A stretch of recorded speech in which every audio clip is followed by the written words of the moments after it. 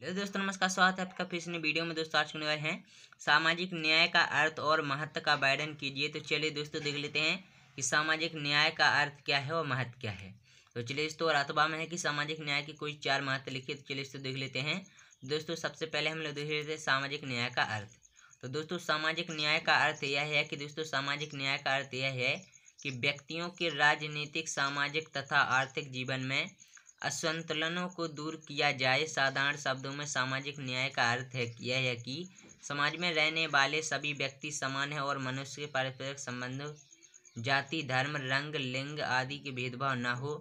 शिक्षा, उन्नति, विकास के अवसर सभी को समान रूप से उपलब्ध हो। राष्ट्रीय संपत्ति और संसाधन और स्रोत का उपयोग बिना किसी भेदभाव के आपस में मिलजुल कर करें। सामाजिक न्याय मूलतः एक समतावादी धारणा है। सामाजिक न्याय ये मात्र है तो दोस्तों सामाजिक न्याय के लिए सामाजिक न्याय आवश्यक है। सामा, सामाजिक समानता के आधार पर भारत के संविधान की अस्पष्टता की दंडनीय अपराध माना है। दूसरा है दोस्तों व्यक्ति विकास के लिए सामाजिक न्याय आवश्यक है।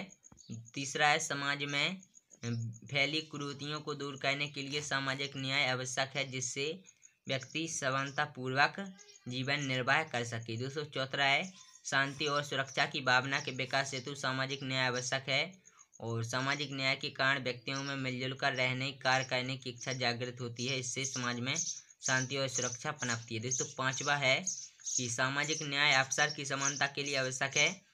यह व्यक्ति के विकास हेतु न्याय संगत अवसर उपलब्ध कराता है।